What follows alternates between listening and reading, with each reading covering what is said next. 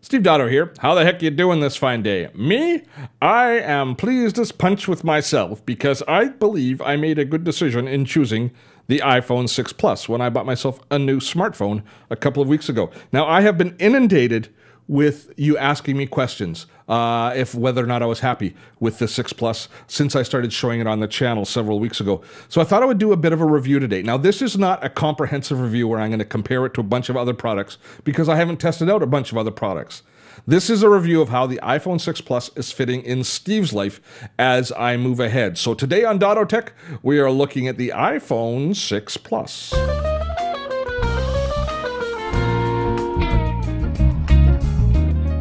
Now, when I decided to upgrade my smartphone a few about a month ago, I had a big decision to make whether or not I was going to go with the iPhone 6 Plus, which frankly scared the heck out of me because it costs nearly what or more than a notebook computer, so it had better be a freaking awesome phone. I was really concerned about spending this much on a phone. Of course, I was also concerned about the form factor.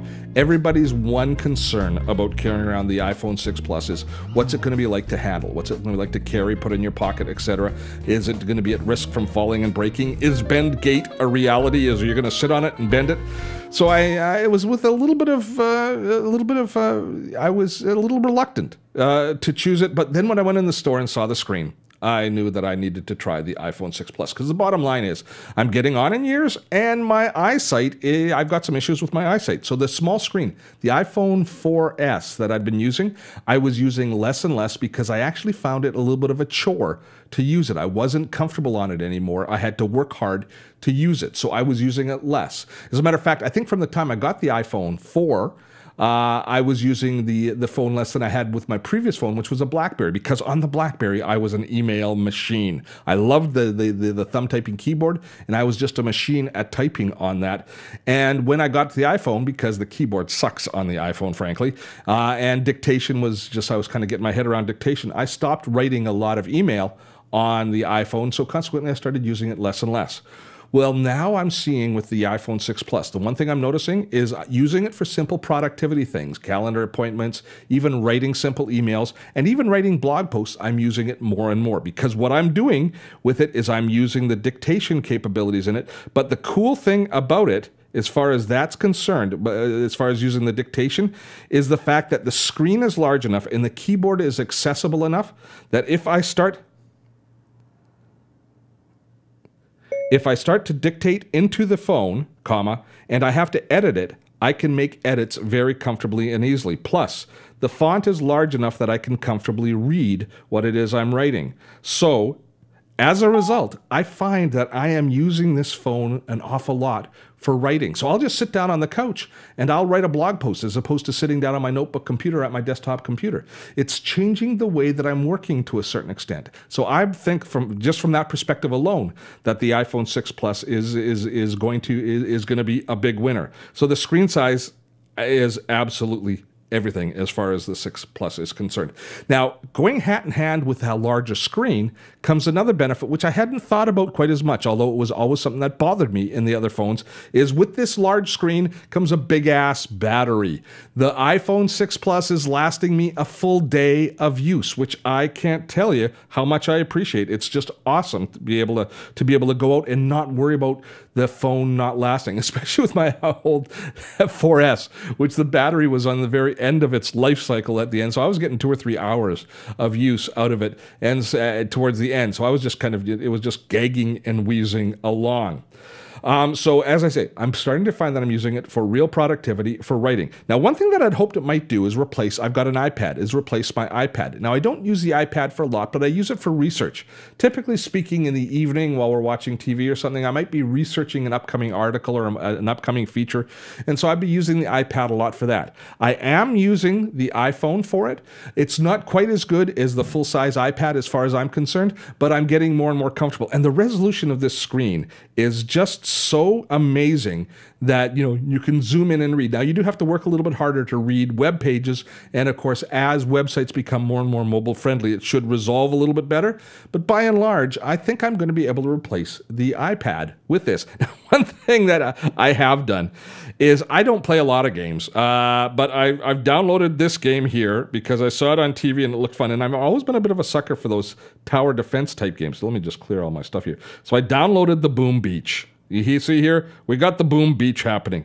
Now, I am enjoying playing the game on this little screen, and I never thought I would. But it comes down to that resolution. Look what happens as we zoom in. The clarity of the image on this screen, uh, what you're seeing here essentially is the same thing that I'm seeing on the screen. So you can see the quality of this is just spectacular. Now, while we're on this screen capture that you can see right now, and I'll just turn it, uh, let me just go back into the main operating system here. I I know that there are Android users out there going, why aren't why didn't you choose one of the Android tablets, Steve? Why didn't you or, or uh, Android phablets or phones, or Steve? The reason that I stayed in the iOS world is doesn't come down to religion at all. I don't actually prefer iOS to Android. I have no preference. I think they're both great. But for doing the sort of work that I do, these sort of screen capture things, and what you're seeing right now, capturing this this iPhone screen as I'm doing this demo, the Apple world just works way better. As a matter of fact, with the newest version of the operating system and the newest phones, I can actually plug in using the Lightning connector and choose this phone as a source as I'm recording this demo, which is where I get this incredible quality from. Even before, when I was recording other uh, other phone demos, I was always using basically Wi-Fi to capture the iPhone screen, and I can do it a little bit on my Galaxy, on my Samsung Galaxy, but I'm limited to Samsung hardware when I do that, and it's a little bit more of a slog in order to capture the screens. So I went with the iPhone mainly because of convenience. It's it's much easier for me to do the work that I have to do creating these demos using this. So uh, the other things, uh, the resolution that I talked about, oh, the case. I want to talk to you about the case. So the case that I chose for it, and I don't have it in the case right now, but it's this one here, which is called the BookBook case. It comes from 12 South, and I had a BookBook case before. Now, the reason I like this case is it's one of the folio or wallet cases, and it's beautifully handcrafted, real leather, and it's got a space there for all of my credit cards as well as a billfold if I had any cash that I could put in there. And it's got little tabs here. So the cool thing about this case is the iPhone actually clips into the case so you've got a, a, hard shell case, but it's got little slots in the back that slide in and basically lock it into the case. So I can use the phone by itself because you don't always want to have it in the case if you're just say doing stuff at home with it. But then I can clip it into the case when I'm going out, and then I've got my wallet with me. Uh, does it fit in my back pocket? No, I don't want to put it in my back pocket because I don't want to have bend. I don't want to be sitting on it and bending it. But it does fit comfortably, although somewhat misshapenly in the breast pocket of a jacket.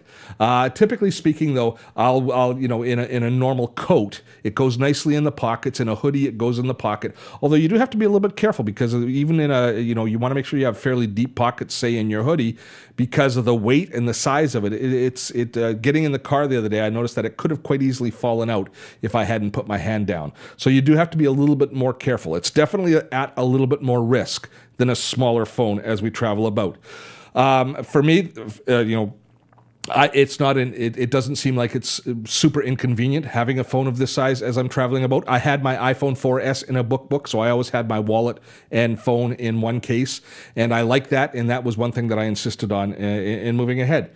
So that's it. Uh, do I have any buyer's remorse on this phone? Absolutely not. I, I'm, I'm happy with it. I wish it was less money. I think it's still ridiculously expensive. But uh, beyond that, no, I'm happy with it. But I'd love to know what you think if you've bought or if you're considering buying. So let us know in the comments, especially if you bought the 6 or the 6 Plus, and if you're happy with the purchase or if you're having a little bit of buyer's remorse and you would have rather gone bigger or smaller, as the case may be.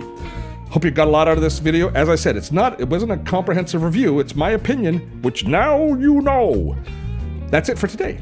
Uh, there's three ways to stay in touch with us here on Dottotech. The first is, of course, please subscribe to this channel. You can also subscribe to our newsletter, which will then get you in the loop to let you know about upcoming webinars and such things that we have coming along. And finally, Dottotech is a crowd-funded channel. You can check out our Patreon page to find out what's involved in becoming part of our community and the perks that are involved should you choose to become a part of our community. Till next time, I'm Steve Dotto. Have fun storming the castle.